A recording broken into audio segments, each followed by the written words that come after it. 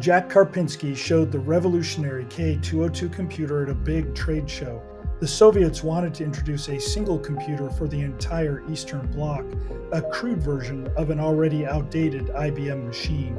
Called Ryad, it was designed by Nikolai Lavronov. He visited Karpinski's plant in Warsaw, and during the visit, Lavronov didn't believe the K202 could fit into a briefcase, as his computer required a whole wall.